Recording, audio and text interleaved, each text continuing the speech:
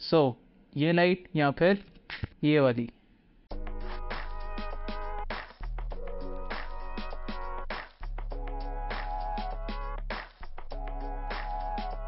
रात के डेढ़ बजे अगर ये वीडियो बन रही है तो इसका मतलब है कि असाइनमेंट वाकई इंपॉर्टेंट है। क्योंकि ये हमारे सेमेस्टर की आखिरी असाइनमेंट है तो सर थोड़े से नंबर दे दीजिएगा। तो अगर आप एक प्रोफेशनल वीडियोग्राफर या एक फोटोग्राफर हैं तो आपको इस बात का पता होगा कि एक अच्छे कैमरा और एक अच्छे माइक के साथ साथ एक अच्छी लाइटिंग का आपकी पिक्चर या वीडियो में क्या रोल है?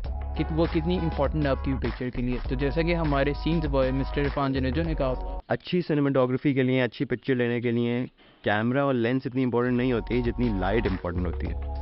इस वीडियो में मैं आपको ये नहीं सिखाऊँगा कि एक प्रोफेशनल लाइट को सेटअप किस तरह करते हैं, बल्कि मैं आपको ये बताऊँगा कि इसकी इंपॉर्टेंस आपकी प्रोफेशनल वीडियो में क्या है। आजकल हमारे बहुत से यंग यूट्यूबर्स और टिकटॉकर्स इस तरह की रिंग लाइट्स का यूज़ करते हैं। अब इनके अंदर मल्टीपल साइजेस आते हैं। उनकी चॉइस के मुताबिक कि उनको कौन सी लाइट ज़्यादा सूटेबल है। वो इसलिए यूज़ करते हैं ताकि उनकी लाइट में ज़्यादा ब्राइटनेस आए।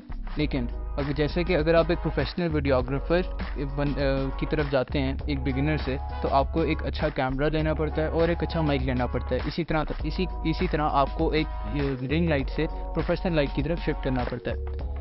अगर मैं अपनी इस वीडियो की बात करूँ तो इस वीडियो में मैं, मेरा प्राइमरी जो जो मेरी प्राइमरी लाइट है, वो एक स्टूडियो लाइट है और जो मेरी सेकेंडरी लाइट है, वो एक मेमल लाइट है। दोनों लाइट का काम यही है कि वो मेरे मुँह पे सॉफ्टनेस पैदा कर रहे हैं, मेरे मुँह पे फोकस ज़्यादा कर रहे हैं और मेरे शेडो को मिनिमाइज कर रहे हैं। तो अगर मैं अपने इस सेटअप की प्राइसिंग की बात करूँ स्पेसिफिकली लाइटिंग के सेटअप की तो ये मुझे पड़े तकरीबन twenty two twenty five thousand के बीच में, जो कि मैंने एक नस्बत रोड से नाइकन सेंटर से खरीदा है। लेकिन अगर आप अपने हिसाब से लाइट लाइटिंग लेना चाहते हैं तो you can buy it according to your budget अगर आप इससे महँगी लाइटिंग सेटअप की तरफ़ जाना चाहते हैं तो आप गॉडक्स या उस तरह की लाइट ले सकते हैं।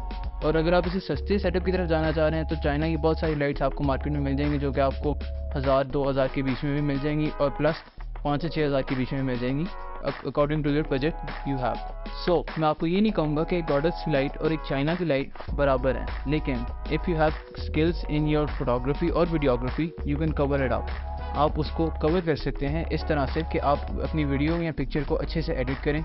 प्लस अगर आप एक चाइना की लाइट लेते हैं, उसमें आपको फीचर्स वाइज कस्टमाइजेशन मीन के सेटिंग वगैरह में इतनी ऑप्शन इतनी नहीं मिलती जितनी आपको एक गॉडक्स की लाइट में मिलती हैं। तो हाँ अगर आप जितना गुड़ डालेंगे, उतना वो चीज़ मीठी होगी। तो अगर आप गॉडक्स की लाइट लेंगे तो उसमें फ़ीचर ज़्यादा मिलेंगे, आपको ऑप्शन ज़्यादा मिलेंगी।